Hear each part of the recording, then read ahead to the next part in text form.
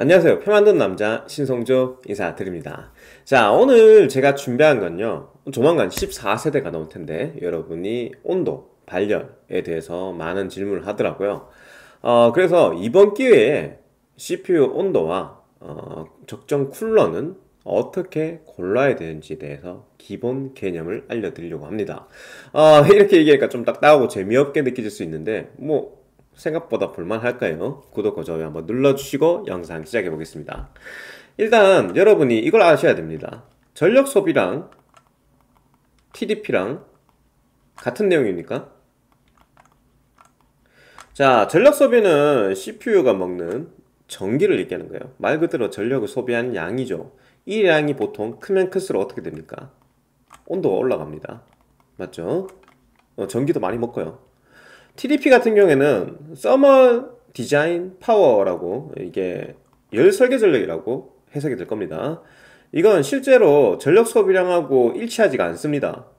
이 CPU가 필요한 만큼 전력을 소비하고 남은 전기를 어, 전력을 어, 뱉어내는 거죠. 어떻게? 발열로. 그래서 요거 같은 경우에는 이것보다 좀 낮게 계산이 됩니다. 그리고 이 TDP를 보통 적어주죠.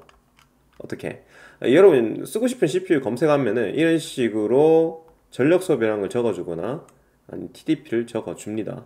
지금은 뭐 PBP, MTP 뭐 이런 식으로 적혀있는데 어, 예전에 예를 들어 여러분이 i9식으로 적어놓으면은 검색 한번 해봅시다. 1900K는 TDP가 얼마다? 라고 나와있죠. 125W 정말 터무니없는 소리죠. 조금만 아시면 125W? 그럴 리가 없는데? 라고 생각하실 텐데 이게 왜 터무니없는지 얘기해 드릴게요. 여러분 지금 보시면은 1900K가 125W라고 치잖아요. 그러면 이거 뭘로 될 것 같아요? 여러분 쿨러 검색해서 들어가 보면은 쿨러 TDP를 적어두거든요. 야 이거 뭐 팔라딘이 TDP가 200이래요. AG400 이 2만원짜리 쿨러가 TDP가 200이랍니다 TDP가 200이면 1900K에? 저 2만원짜리 쿨러 달아도 잘 들어가겠네요. 그럴 리가 없죠. 달아오셨어요? 그냥 100도 찍고 남습니다. 제가 이렇게 얘기하면은 여러분이 분명히 태클 걸 거예요. 아니 네가 해봤어? 네 제가 해봤습니다. 어 여러분이 신성조 해서 뭐 여기에다가 권장 쿨러 이렇게 검색하면 상당히 많은 영상이 나오는데요 여기에 뭐 10세대, 9세대, 11세대 일일이 다 테스트하는 내용이 나옵니다. 이런 식으로 직접 어, 쿨러 달아놓은 거 영상 찍어놓고 게임 뭐 돌리는지 혹은 작업을 뭐 하는지 일일이 다 찍어가지고 표록에 이렇게 정리해서 여러분한테 보여주죠. 근데 i9이 절대 2만원, 3만원짜리 쿨러로 커버 될 수가 없어요. 아까 제가 i9의 TDP가 125라는 거 보여드렸습니다. 근데 실제로 소비 전력이 200대 중반에서 300 정도 먹습니다. 그러면 CPU가 그 중에서 200 가까이 처먹처먹 해줘야 남는 게 100W 정도의 발열을 뿜어내겠죠. 근데 실제로는 CPU 그래 많이 못 먹어요. 많이 못 먹기 때문에 얘가 뱉어내는 발열량은 200이 가뿐히 넘을 겁니다. 200이 넘을 텐데 예전에는 이 TDP가 뭘 기준으로 적혔었냐? 기본 클럭 기준으로 TDP가 적혀 있었습니다. 자, 1900의 기본 클럭은 어떻게 됩니까? 최대 클럭이 5.3이지만 기본 클럭은 3.7입니다. 그러니까 이 1900이 3.7로 동작할 때, 잘 보이지도 않는 어, 3.7 클럭으로 동작할 때 TDP가 125라는 겁니다. 그러니까 제 성능이 안 나올 때, 뭐 기본 쿨러, 초코파이 쿨러 있잖아요. 그거 달았을 때 나오는 성능, 어, 그 성능 상태일 때가 125라는 겁니다. 말 그대로 싹구라를 치는 거죠. 이거 속아서 뭐 20만원짜리, 2만원짜리, 3만원짜리 쿨러 다신 분들이 있다니까. 실제 그렇게 주문하신 분도 있고요. 아니, 아, 뭐, 80만원, 100만원 CPU에 이 2만원짜리 쿨러 집어넣고, 문제 없나요? 라고 물어볼 때마다 답답합니다. 보고 있으면. 어떻게 해야 되지? 아, 뭐 300만원, 400만원 PC 사면서, 진짜 눈꽃만치도 공부 안 해. 라는 생각이 든다고요. 여러분 뭐 만원 2만원짜리 살 때도 사실 마트 가서 용량 비교해보고 사잖아요 근데 컴퓨터 뭐 300만원짜리 500만원짜리 비싸게 1000만원짜리 사면서 이런 아무것도 모르는 상태로 PC 산다면 제 성능은 낼 수가 없어요 뭐 어쨌든 이거는 표기는 놈들 잘못이라 생각합니다. 말도 안 되는 엄청나게 낮은 TDP를 표기를 해뒀다는 거죠. 그래서 제가 표를 한번 만들어 봤어요. 실제로 어떻게 표기하고 있는지. 일단 뭐 11세대 이전에는 그냥 싹구라를 쳤어요. 인텔이고 AMD가 할 필요 없이 싹구라 쳤습니다. 보시면 뭐 125라고 적어놓고 최상위 제품에 AMD도 뭐 105라고 적어놨어요. 물론 AMD가 실제 전력 소비량도 낮, 낮은 건 맞지만 105면은 5950이 2만짜리 쿨러 돌아가야 된다는 거죠. 안 들어갑니다. 말도 안 되는 거 적어놨죠. 그때는 그랬습니다. 10세대, 11세대, 9세대, 뭐 그 전 세대는 싹 다 그랬었어요. 그리고 이걸로 하도 욕을 먹으니까 사실상 12세대 넘어오고 난 뒤부터는 표기 방식이 좀 바뀌었습니다. 여기 내려가 보면은 13,900이랑 12,900이 볼 텐데 일단 13,900은 어, TDP라고 안 적어놨죠. 125부터 250이라 적어놨습니다. 저게 전력 소비라는 적어놓은 건데 저것도 구라예요 일단. 그리고 12,900은 TDP라고 적어놨습니다. 125에서 241로 적어놨죠. 솔직히 이거는 팩트에 가깝다고 봅니다. 그러니까 12세대만 유독 유일하게 정상적으로 표기를 했다고 봐요. 왜 이거 또 구라라고 치는지 그것도 위에 13세대는 구라라고 얘기하는지 위에 이거 TDP가 아닌 거 어, 좀 이따 얘기해 드릴게요. 일단 어쨌든 그래서 제가 이걸 정리해 놨는데요. 정리해 놓는 거 봤을 때 12세대 같은 경우에는 이게 125는 아마 기본 clock이 터질 때 겁니다. 기본 clock 매우 낮죠. 기본 clock은 3.2니까 3.2 상태에서는 125W 그리고 얘 all-core booster 최대 clock이 5점인데 all-core booster는 뭐 4.9가 5.0인가 아마 대충 그쯤 될 겁니다. 그 상태에서는 240을 쓴다고 합니다. 실제 소비 전력을 확인해 봤는데 254W 정도 씁니다. Blender 기준으로 254W인데 저게 전력 제한 해제가 되지 않은 보드 기준으로 어 그러면 이제 여러분 PL이라고 power limit라는 게 있습니다. power limit 1 기준으로 254 정도가 움직입니다. 실제로 여러분 전력 제한 해제가 돼 있거나 아니면 기본적으로 좀 높은 전력을 공급하는 power limit이 4095로 풀려 있는 보드에서 그런 보드 사용하실 때는 이거는 가뿐히 어, 300W 가까이도 먹기도 합니다. 어쨌든 12900K 같은 경우에는 게이밍 용도 쓸 때는 공랭 대장급으로 커버가 됐었고 어, 작업 용도로 겸해서 쓴다고 치면은 사실상 순행을 써야 되는 제품이었습니다. 그리고 여기에는 정상적인 TDP를 적어놨기 때문에 요거 기준으로 여러분 쿨러를 사셨어도 됐습니다. 자 그렇게 얘기하면 240 어, 기준으로 쿨러 사면 어떤 거 살 수 있을까 한번 볼까요? 일단 공랭 2, 3만짜리 안 되죠. 200W짜리 안 됩니다. 그 공랭 뭐 AG620 정도 되면은 260이니까 이걸로는 그러면 되겠네요. 아 이것도 싹불하죠. 아, 쿨러 회사들도 뭐 260, 270짜리는 되게 싹불합니다. 자, 이렇게 얘기하면 쿨러 회사들이 반발할 수 있습니다. 그래서 좀 명확하게 얘기해 드릴게요. 이 TDP 쿨러 회사가 적어둔 것들은 이 쿨러가 이제 오픈 상태에서 꾸준히 외부 온도가 기본적으로 바, 바뀌지 않게 어, 유동적으로 바뀌지 않게 유지가 돼야 됩니다. 그러니까 에어컨을 쓰든 환기를 하든 꾸준히 분명히 쿨러가 발열을 뿜어내는데 불구하고 내부 온도는 고정해야 된다는 겁니다. 그 상태에서 그리고 이 바닥면 있죠 쿨러의 바닥면.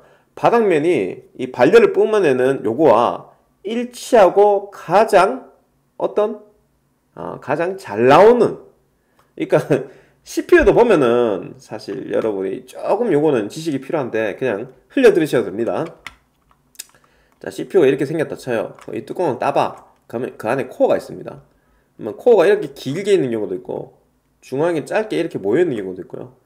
아니면 아이오다이라고 어, 언코어 부분하고 코어 부분하고 분리돼서 이렇게 되어 있는 경우도 있습니다. 그럼 발열 나는 부분 실제로 요, 요 부분이죠. 윗부분. 요 밑에는 안 나고. 그러니까 코어 위치가 달라요. 이 코어 위치가 다르기 때문에 heat spread에 아주 잘 붙어 있더라도 실제로 발열 나는 위치가 조금씩 틀려집니다. 근데 그게 아주 좋은 위치에 발열이 꾸준히 뿜어졌는 걸 전제로 해서 그러니까 실험실 환경이죠. 실험실 환경에서 전제를 깔고 이 정도 최고의 성능이 나온다는 얘기이기 때문에 실제 여러분 CPU에 꽂으면은 260이나 270을 커버 치지를 못합니다. 이런 dual 타워 공랭형이 200을 커버 칠까 말까 할 정도예요. 그러면 싱글 타워 200 적어놓은 애들은 어떻습니까? 150이나 120을 커버 칠까 말까 합니다. 실제로 여기 200 적혀 있다고 200짜리 예, 꽂아 쓰시거나 260 적혀 있다고 260짜리 꽂아 쓰면은 100도 찍는 거 봅니다. 100도 찍으면은 성능이 떨어지고 수명에도 좋지 않죠. 실제로 250 정도의 어, TDP를 커버 치려면은 이런 거 써야 됩니다. 3열 수랭. 3열 수랭쯤 되면 240에서 250 정도 커버하고요. 정말 좋은 3열 수랭들이 대략적으로 280 정도를 커버 칩니다. 이 3열 수랭 같은 경우는 뭐 좀 허세끼 있는 브랜드들은 우리는 300 정도 커버 친다라고 적어두고요. 어, 사실적으로 적는 애들은 한 250, 240을 커버 친다고 적어둘 겁니다. 아니면 아예 뭐 표기 안 하는 경우도 있어요. 뭐 어찌됐든 여러분이 저거 또 쿨러 회사가 적어준 걸 순수하게 믿고 쿨러 사시면 아, 속된 말로 잣됩니다. 너무 잊지 마십시오. 뭐 어쨌든 그 12세대는 그나마 제도 적어줬습니다. 그리고 13세대에서는 또 애매하게 적어주기 시작해요. 13세대 같은 경우에는 실제 전력 소비량이 13900K 같은 경우는 300W대로 훌쩍 넘는 경우가 많고요. 그 경우 여러분 TDP는 250 정도에서 끝나지 않을 겁니다. 250이 아, 넘어가는 경우가 종종 있을 거예요.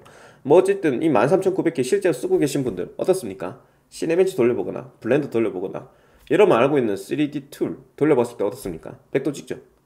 아니면 90도 후반까지 나오겠죠. 어, 수랭 꽂았을 때 당연히 커버가 된다 그랬으니 그 정도로 높은 온도가 나오지 않아야 되는 거 아닌가요? 라고 생각하실 텐데 실제로는 여 적혀 있는 것보다 더 높은 어, 열 설계 전력을 보인다는 거죠. 그래서 3열 수랭으로도 커버 안 된 경우 많습니다. 그래서 3열 수랭 중에서도 좀 더 상위 등급인 그 420 라디를 쓰는 수랭을 쓰거나 아니면은 진짜 고풍량 팬이 들어가 있는 그런 제품을 쓰는 경우가 많죠. 그래야 아슬아슬하게 under를 커버 치거나 그러고도 under 커버를 못 쳐서 undervolting을 하거나 여러분 상당히 불편을 겪으면서 사용하고 있을 겁니다. 13900K 있을 때. 그리고 여러분 또 실수하는 것들이 있거든요. 아, 여러분 K 버전 말고 그냥 normal 버전은 좀 더 낮은 전력 소비량을 보여주니까 어, 싼거 써도 되는 거 아닌가요? 라고 생각하시는 분 있더라고요. 둘이 차이 좀 나거든요. 적혀 있는 걸로 봤을 때는 한 30은 적죠. 그래서 여기 어, 13,900은 공랭하면 되는 거 아니에요? 이러는데 아니죠. 아, 공랭 커버 안 됩니다. 얘네들도 제대로 된 성능을 보여주는 보드, 전력 제한 해제가 기본적으로 되어 있는 보드, Z보드 중상급에 꽂으시면은 13,900K와 별 다를 바 없는 전력 소비량을 보여줍니다. 2 30W밖에 차이 안 나요. 얘네도 300 쓴다고요. 심지어 얘네들 peak치는 400도 쓰고 그래요. 그러니 커버가 안 되는 거예요. 3열 수랭으로도 잘. 뭐 어쨌든 12세대부터나 그나마 제대로 TDP를 적어주기 시작했고요. 실제로는 여 적혀있는 TDP보다도 조금 더 높은 전력 소비량을 보이는 경우가 많기 때문에 네. 여러분이 순수하게 순진하게 이 TDP 적혀있는 숫자만 믿고 쿨러를 사면 안 되는 겁니다. 쿨러 회사에서도 뻥튀기를 하고요. 그리고 CPU 회사에서는 자기네 자사 제품의 전력 소비량이 높지 않게 보여주기 위해서 좀 소폭 하향시켜서 혹은 대폭 하향시켜서 적는 경우가 많습니다.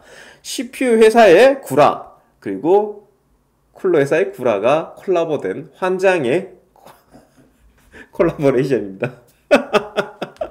아이씨. 어쨌든 그래서 믿고 사시면 안 됩니다. 그러니 여러분이 어지간하면 벤치를 보라는 겁니다. 꼭 제 벤치를 볼 필요 없고 많은 유튜버 분들 아니면 많은 매체들 전문 매체도 있죠. 퀘이사죠, 쿠렌조이. 아 이런 데 들어가서 CPU가 신제품 나왔을 때 어떤 쿨러 썼을 때 몇 도 나온다 작업할 때는 몇 도 나온다 전력 소비는 어느 정도 된다 이런 거 어느 정도 파악하고 쿨러 사셔야 제대로 삽니다. 여러분 이런 거 파악 안 하고 지금 사신 분들 아니 뭐 i7, i9에도 공랭은 되는 거 아니에요? 하신 분들 당장에 시네벤치 공짜니까 받아서 돌려보십시오. 온도가 멋장이 나오는지. 그럴 리가 없죠 어쨌든 그렇습니다. 자 지금 인텔 가지고 신나라하게 깎는 것 같은데 AMD도 크게 다를 바는 없습니다. AMD 쪽도 보시면은 심하게 TDP 구라칠 때는 5900, 5950X를 뭐 100W라고 적어놨어요. 100W면은 여기 2만짜리 쿨러로도 그냥 온도가 막한 어? 70도 나와야 되겠네. 아주 뭐 온도 낮게 잘 유지가 돼야 되겠죠. 근데 안 그렇죠. 써보면 안 그렇습니다. 실제 전력 소비량이 얘네들이 240W 250W 뭐 230W 이 정도 썼었거든요. 자 그렇게 쓰시면은 실제로 이 쿨러 커버 안 되겠죠. 얘네가 지금 200 적혔으니까. 이것도 제가 뻥튀기 한 거라 그랬잖아요. 원래 TDP 200이면 얘네들 뭐 240 썼으면 TDP 대충 한 7, 80W CPU가 쓰고 남은 게 그렇겠네요. 그러면 한 170 정도? 해야 될 텐데 170 DeepCool AG200으로 아 AG400으로 커버돼야 되는 거 아니에요? 안 되잖아. 이것도 구라라니까요? 쿨러들도 구라를 쳤기 때문에 실제로 얘네들이 공랭 하급에서는 커버가 안 됐습니다 그나마 5900X, 5950X 같은 경우에는 공랭 상급에서는 아싸싸에 커버되고 그랬어요. PBO 키면 그것도 커버 안 돼서 수랭 가야 되긴 하는데 PBO를 키지 않은 상태에서는 어, 상급 혹은 대장급 공랭에서 아싸싸에 커버가 되던 놈들입니다. 그리고 이제 7000 시리즈 오면서 그나마 이제 전력 걸 PPT 기준으로 적어뒀거든요. 아, PPT 또뭐 용어 어려운데 여러분 크게 신경 쓸 필요 없습니다. PPT 같은 경우에는 얘네들이 어, 보드에서 어, 공급할 수 있는 최대 전력치라고 보시면 돼요. 그 얘네들이 소비하는 최대 전력치라고 보면 됩니다. PPT가 TDP랑 또 또 좀 다르죠. 어, 그 같은 경우에는 PPT 기준 적어놨으니까 7950X 뭐 230 정도 쓴다. 아, 7900, 170 정도 쓴다 그랬는데 실제로 얼마 쓰는지 체크해 보시면은 280, 뭐 340 정도 씁니다. 이것도 다 좀 축소해놔서 적어놨죠. 실제로 어, 축소해서 적어놨습니다. 88W 적혔는데 라이젠 마스터로 보면 88W인데 실제로 CPU가 얼마나 전력 소비를 하는지 보드에서 찍어보면은 그거 두 배 정도 나옵니다 뭐 완전히 딱 두 배라고 얘기는 안 할게요 예, 이것도 좀 축소해서 적어놓은 거고 실제 전력 소비는 밑에 거라는 겁니다 인텔하고 다를 바가 없어요 인텔도 뭐 TDP 기준에 250 해놨는데 실제 전력 소비하는 거 보면 막 300, 심하게 400도 막 쓰고 그래요. 이게 하나도 안 맞다는 거죠 현실과. 뭐 어쨌든 요놈들을 보면은 실제로 CPU가 전력 소비하는 게 한 7, 80W 정도 될 테니까 그거 빼고 계산하시면은 위에 거 얼추 맞긴 하거든요 PPT 기준으로 적어놓은 게. 그게 7900X는 지금 200이 안 되게 적혔잖아요 근데 이거 뭐 쿨러가 제가 이거 150도 될까? 어 이것도 구라쳐놓은 거다 그랬지요. 그러니 밑에 내렸을 때 공랭, 공랭 상급 이 dual 타워 좀 큰 쿨러 이런 거 쓴다 치면은 얘네들이 한 200 가까이 커버는 되거든요. 260정도인데 260은 안 되고 200 정도 커버되니까 7900X 같은 경우에는 공랭 상급으로 커버가 됩니다. 7900은 뭐 공랭 중급, 중하급으로 커버되고요. 얘 88 적혀있잖아요. 그럼 150짜리 꽂아놓으면 커버되겠지 대충 근데 790X는 순행 가야 되겠죠. 230 얘가 구라쳐 쓰는 것도 230인데. 요거 믿고 어, 뭐 공랭 박아 놓으면은 커버가 안 되더라고요. 얘 같은 경우에는 이제 순행 쓰면 되겠죠. 750XCD는 162니까. 얘는 아 공랭으로 커버 되겠죠. 200도 안 되니까요. 어, 그런 식으로 대충 보시면 돼요. 적어놓은 걸 고스란히 믿지 마세요. 쿨러 회사들도 구라를 치기 때문에 어, i7군 봐도 그렇습니다. i7군. 12700K 공랭 커버 됐었습니까? 됐었습니다. 제가 그래서 공랭 대장급 쓰면 커버 된다 그랬어요. 얘 190 적혔잖아요. 200 정도밖에 안 되죠? 요거 같은 경우에는 공랭 상급 쓰시면은 커버가 됩니다. 근데 13700K는 어떤가요? 12700K보다 전력 소비가 확연하게 늘었죠. 대충 5, 60W 늘었습니다 그러다 보니까 얘는 공랭 커버가 안 돼요. 이거 공랭이 된다고 하는 건 게임밖에 안, 한다. 뭐 그럴 때는 커버가 되는 건데 실제로는 제가 돌린 게 있습니다 영상이. 이렇게 일일이 돌린 게 있는데 게임밖에 안 한다도 좀 애매한 게 실제로 여러분 게임 하면서 뭐 스팀 패치나 아니면 윈도우 패치 정도는 같이 되는 경우가 많아요. 그리고 게임을 다운받거나 설치할 때는 CPU를 좀 많이 갈구고요. 아, 그 경우로 봤을 때 i7은 상급 공랭 쓰시면은 온도가 87도, 88도 정도 나옵니다 그 정도 나오는데 그 정도면 커버되는 거 아닌가요? 라고 하실 수가 있는데 어, 저는 이제 오픈 테스트를 한 거예요. 여러분 케이스 안에 안 들어가 있습니다. 왜냐하면 어떤 케이스 쓰냐에 따라 편차가 워낙 심하니까 동등화 하기 위해서 케이스를 아예 치워버렸습니다. 케이스 안에 들어가면 여기서 한 7도 정도가 상승이 된다 보면 돼요. 정말 좋은 케이스 쓰면 사실 오픈 테스트랑 거의 똑같은 온도가 나오기도 하는데 그런 경우는 좀 드물고요. 여러분은 글카도 같이 갈구고 있기 때문에 실제로는 한 5도에서 8도 정도는 rough하게 더 더해 주시는 게 맞습니다. 제가 88도라고 했을 때 그 정도 온도를 더하면 90도대가 넘어가겠죠. 90도 중반 정도 되죠. 공랭 쓰고 있을 때. 물론 90도 중반이면 성능은 저하되지 않습니다만 부품에 충분히 무리가 갈 수 있는 높은 온도를 계속 꾸준히 유지하는 거기 때문에 더 좋은 쿨러 써주는 게 좋습니다. 그래서 13700K가 공랭이 되지만 성능 자하는 없습니다. 온도가 높기 때문에 어지간하면 순행을 쓰라고 하는 겁니다. 이건 뭐 비싼 CPU잖아요. 60만원 정도 하는데 순행 쓰는 게 크게 부담스럽지는 않겠죠 이거 수능 쓰는 게 부담 습득하기 좀 하, 이, 나는 좀 태클 걸고 싶어요. 왜 그러냐면은 13700K에 괜찮은 보드 쓰고 뭐 적당한 SSD 파워 그리고 그래픽 카드 게임하기 좋은 거 박으면은 300만 원 나올 텐데 쿨러에 10만 원 혹은 8만 원 더 투자하기 어렵다는 거 말이 안 되거든요. 그래서 제가 13700에도 공랭이 됐지만 게임밖에 안 한다면 수랭을 권장을 드리는 겁니다. 온도가 좀 높게 나오기 때문에. 어, 13700 normal도 K랑 다를 바가 없습니다. 전력 소비량 차이가 얼마 안 나요. 20W 정도 내외밖에 차이 안 나기 때문에 뭐 TDP 기준으로도 보시면 30 정도 낮게 적혀있긴 하자, 하죠. 하지만 뭐 거의 동등한 수준의 쿨러를 요구할 겁니다. 다만 13700은 아무래도 2, 30W 적게 쓰니까 얘 정도쯤 되면 이제 솔직히 그냥 공랭 써도 될 것 같아요. 게임밖에 안 하신다고 하면 그냥 공랭 써도 될 것 같고 K는 어지간하면 순행 쓰는 게 좋을 것 같습니다. 그리고 12세대 같은 경우에는 공랭 써도 될 것 같고요. 뭐 이런 식으로 여러분이 여기 적혀 있는 거를 100% 믿지 마시고요. 100% 믿지 말고 정도 참고를 할 정도는 됩니다. 그러니까 이, 이때는 완벽하게 구라였으니까 그냥 믿지 마시고요. 어, 볼 필요도 없어요. TDP라는 게 전혀 신경 쓸 필요 없는 값입니다. 근데 12세대 이후로 나온 제품들 뭐 AMD 기준으로는 7000 시리즈쯤 되겠죠. 이 7000 시리즈와 12세대, 13세대는 그나마 이 TDP 적어둔 거를 조금 믿으시면 됩니다. 다만 쿨러 회사들도 구라를 치기 때문에 이 수치 그대로 쿨러 사면 안 되고요. 여 적혀있는 수치보다 한 단계 위에 쿨러를 사면 된다는 겁니다. 아 성준님 그 얘기 들어보니까 복잡한데 어떻게 하면 됩니까? 자 제가 간단하게 적어뒀습니다. TDP 분류 200이 초과돼요. 그러면 딱 봐도 순행이 필요합니다. 이 정도 급은 여러분이 다용도로 쓴다 치면 진짜 순수하게 게임만 하는 게 아닌 이상 다용도로 쓴다 치면 200 초과 TDP 200이 초과되는 애들은 저기 적어준 게 순행을 쓰세요. 어떤 게 됩니까? 13900K 900 요놈들은 순행을 딱 봐도 필요로 하죠. 그리고 13700 얘네들도 사실상 순행이 필요해 보입니다. 그리고 뭐 7950X 요 정도 급 정도가 순행이 필요한 제품들이 되겠죠. 이렇게는 순행을 쓰십시오. 그리고 TDP 150은 넘어가고 200 미만인 애들 7900X나 12700K 13600K 아 13600K도 은근히 전력 소비량이 좀 높네요. 맞죠? 230이었으니까. 요 놈들쯤 되면은 사실 공랭 쓰셔도 됩니다. 다만 공랭 싸구려 써라는 얘기 아니에요. 트윈타워형. 그러니까 여러분 이게 눌러보시면은 아니 자신있게 지네는 뭐 한 260 커버 된다고 적어놓은 애들 있죠 이거 말고 또 뭐 있습니까? 얘네, 얘도 270 된다고 적어놨잖아요. 딱 봐도 이제 트윈 타워라고 하는 애들은 이렇게 쿨러에 팬도 두 개 들어가 있고 타워도 두 개가 있습니다. 팬 두 개 있고 타워가 하나 있으면 별 의미 없어요. 걔네들은 실제로 그냥 싱글 타워고 차이 싱글 타워 그 팬 하나짜리랑 별 차이 없습니다. 그런 애들 말고 이런 식으로 dual 타워에 팬 두 개 달려 있는 애들.